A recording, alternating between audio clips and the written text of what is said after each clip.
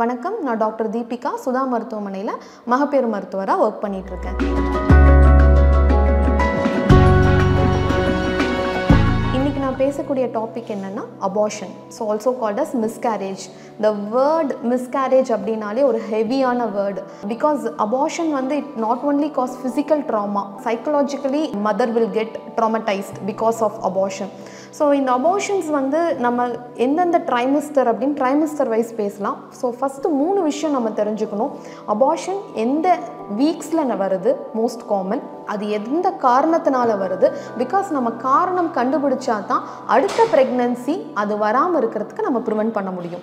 So யூஸ்வலாக பார்த்தீங்கன்னா இந்த forty five days to ninety days அதாவது செகண்ட் அண்ட் தேர்ட் மந்த் தான் abortions risk are more common so அதுக்கு மோஸ்ட் இம்பார்ட்டன்ட் காஸ் பார்த்தீங்க அப்படின்னா ஜென் ஜெனட்டிக் அப்நார்மாலிட்டி தான். It holds around ninety seven percentage வந்து ஜெனட்டிக் அப்நார்மாலிட்டி அதாவது குழந்தைக்கு மரபணு குரோமோசோமல் ப்ராப்ளம் இருக்க குழந்தைங்க அந்த forty five days to ninety days of ப்ரெக்னென்சியில் அது தானாகவே அபார்ட் ஆயிரும். இந்த செகண்ட் விஷயம் பார்த்தீங்க அப்படின்னா மேஜர் அனாமலி இருக்கக்கூடிய பேபிஸுமே it can not withstand heart anomaly இருக்கவங்களுக்கு பிரெயின் அனாமலிஸ் இருக்கும் பேபிஸ்க்கு ரீனல் அனாமலிஸ் இருக்க பேபிஸ்க்கு it can not withstand so மெயினாக நம்ம என்ன பண்ணோம் அப்படின்னாக்கா ஒன்ஸ் அபார்ட் ஆகிடுச்சு அப்படின்னா பெரும்பாலானவங்களுக்கு அடுத்தடுத்து அடுத்து அபார்ஷன்ஸ் வராது. ஒன்ஸ் அபார்ட் ஆனால் நிறைய பேருக்கு நல்லபடியாக அடுத்தடுத்து ஹெல்தி பேபிஸ் டெலிவரி ஆகி நல்லபடியாக வாங்கிட்டு போயிருக்காங்க. ஸோ ஒரு சிலருக்கு வந்து பார்த்திங்கன்னா ரெக்கரண்ட் மிஸ்கேரேஜ் அப்படின்னு இருக்கும். ரெக்கரண்ட் அப்படி இந்த வேர்டு ரெக்கரண்ட் பார்த்திங்கன்னா அடுத்தடுத்து அடுத்து மிஸ்கேரேஜ் வர்றது. ஸோ அந்த மாதிரி கண்டிஷன்ஸ் ஒரு சிலருக்கு வந்தாலுமே நம்ம அதுக்கான test are available so recurrent miscarriages ஏன் நடக்குது அப்படிங்கிறதுக்கு நம்ம ஒரு test call karyotyping karyotyping அப்படிங்கிறது என்ன அப்படின்னா இந்த மிஸ்கேரேஜ் அப்படிங்கிறது பேபியோட ஹார்ட் பீட் நம்ம ஸ்கேனில் பார்க்கையில் ஸ்டாப் ஆகிருக்கிறது ஸோ நம்ம அந்த பேபியோட டிஷ்யூஸ் எடுத்து நம்ம டெஸ்ட்டுக்கு அனுப்பணும். ஸோ அந்த பேபியோட டிஷ்யூஸ் எடுத்து நம்ம டெஸ்ட்டுக்கு அனுப்பையில் நம்ம அதில் என்ன பார்ப்பாங்க அப்படின்னா குரோமோசோம்ஸ் பார்ப்பாங்க. ஸோ ஒரு பேபி எம்ப்ரியோ ஃபார்ம் ஆகணும் அப்படின்னா எக்லேருந்து டுவெண்ட்டி த்ரீ குரோமோசோம்ஸ் ஸ்பெர்ம்லேருந்து டுவெண்ட்டி த்ரீ குரோமோசோம்ஸ் ஒன்றா ஜாயின் ஆகி forty six chromosomes forms a baby so நம்ம என்ன பண்ணுவோம் அப்படின்னா அந்த குரோமோசோம்ஸை படித்து பார்ப்போம். ஸோ அதில் ஏதானும் குறை இருக்கா அப்படின்னு சொல்லி நம்ம பார்ப்போம்.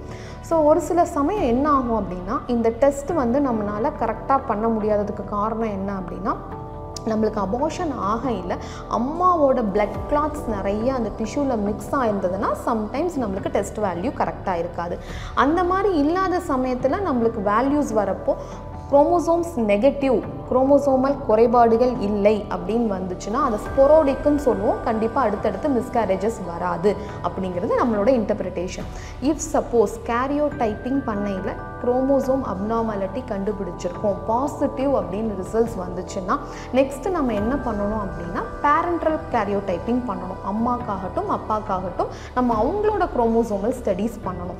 ஸோ யூஸ்வலாக என்ன ஆகும் அப்படின்னா அவங்க எக்ஸ்டர்னலாக நல்லா இருப்பாங்க. அவங்களுக்கு குறையெல்லாம் எதை எதுவுமே இருக்காது. But sometimes they will be silent carriers carriers அப்படின்னா அவங்களுக்கே தெரியாமல் ஏதான ஒரு மரபணும் கோளாறுகள் அவங்க கேரி பண்ணிகிட்டு இருந்திருக்கலாம். ஸோ அது வந்து பேபியை தொந்தரவு பண்ணியிருக்கலாம். ஸோ அந்த மாதிரி இருக்கிறப்ப நம்ம என்ன பண்ணணும்னா அவங்களோட கேரியோ டைப்பிங் நம்ம டெஸ்ட் பண்ணிவிட்டு அதுக்கான ரிசல்ட்ஸ் ஏதாவது பாசிட்டிவாக இருந்துச்சு அப்படின்னா ஒவ்வொரு டிசீசஸ்க்கும் ரெக்கரன்ஸ் ரேட் அப்படிங்கிறது ஒரு ஒருத்தருக்கும் ஒவ்வொரு மாதிரி இருக்கும். ஸோ அந்த பர்டிகுலர் டிசீஸ்க்கு ரெக்கரன்ஸ் ரேட் எப்படி இருக்குன்னு சொல்லிட்டு கண்டிப்பாக அவங்களுக்கு ப்ரீ ஜெனட்டிக் கவுன்சிலிங் கொடுத்து நம்ம நெக்ஸ்ட் ப்ரெக்னென்சி பிளான் பண்ணுற மாதிரி இருக்கும். ஸோ இது வந்து ஃபஸ்ட்டு டூ டு த்ரீ மந்த்ஸில் உள்ள மிஸ்கேரேஜஸ்க்கு காமனான காஸ் அதோட ட்ரீட்மெண்ட் ஒரு சிலர் கேட்பாங்க எமோஷ்னலாக ரொம்ப டிஸ்டர்ப் ஆயிடுவாங்க மேம் நான் ட்ராவல் பண்ணதுனாலையா? நான் சரியாக ஃபுட்டு சாப்பிடாததுனாலையா? இந்த மாதிரி மிஸ்கேரேஜ் ஆகிடுச்சு நான் இவ்வளோ தூரம் பஸ்ஸில் போயிட்டு வந்தேன். அதுக்கப்புறம் தான் எனக்கு ப்ளீட் ஆச்சு அப்படின்னு சொல்லிட்டு.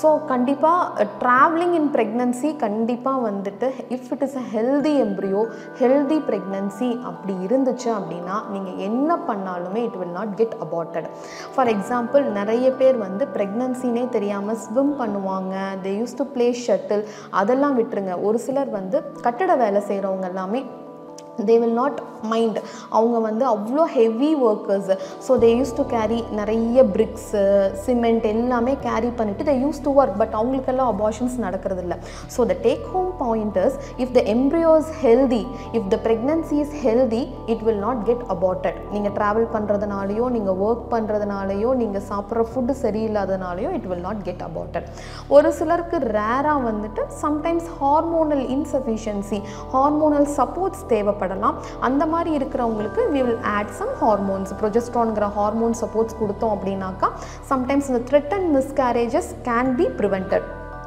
so இது ஒரு சைடு ஸோ ஒரு சிலருக்கு ஃபோர்த் ஃபிஃப்த் மந்தில் பார்த்தீங்க அப்படின்னா மிஸ்கேரேஜஸ் நடக்கும். So fourth and fifth month miscarriages நடக்குது அப்படின்னா பேபி வந்து it weighs around two hundred to three hundred grams weight உள்ள பேபிஸாக இருக்கும்.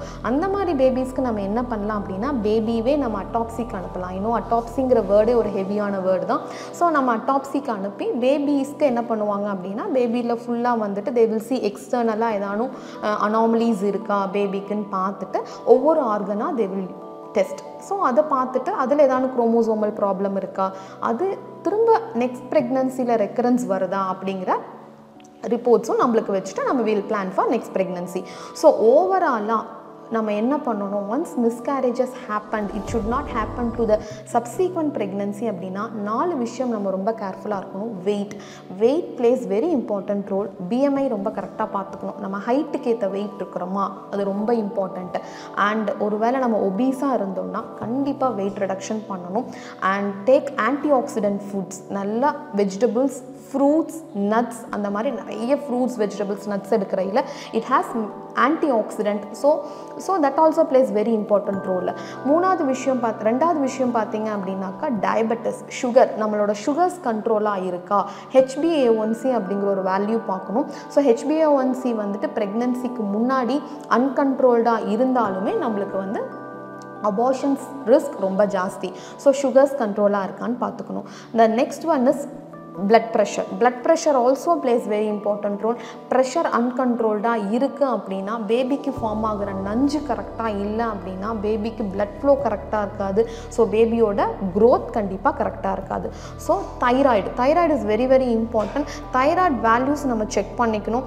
Thyroid hypothyroid or hyperthyroid thyroid கம்மியாக சுரந்தாலும் சரி ஜாஸ்தியாக சுரந்தாலும் சரி அதை நம்ம கரெக்ட் பண்ணிக்கிட்டோம் அப்படின்னா this miscarriages can be preventable the last take home messages folic acid so யூஸ்வலாக வந்து இந்த ஃபோலிக் ஆசிட் அப்படிங்கிறது it is a vitamin B vitamin so இந்த folic acid plays very important role in preventing this anomaly and miscarriage யூஸ்வலாக பார்த்தீங்க அப்படின்னா four milligram of folic acid pre கன்செப்ஷன்லாம் if you are planning for pregnancy three மந்த்ஸ்க்கு முன்னாடி இருந்தே எடுத்துக்கிறது ரொம்ப நல்லது. If you are high risk like for example எப்பிலெப்டிக்கு இல்லை அப்படின்னா டயபெட்டிக்கு அந்த மாதிரி இருக்கிறவங்க எல்லாமே ஃபைவ் மில்லிகிராம் ஒரு ஒன் கிராம் எக்ஸ்ட்ராவாக five milligram folic acid எடுத்துக்கிறதுங்கிறது it can prevent many miscarriages as well as it can prevent many anomalies thank you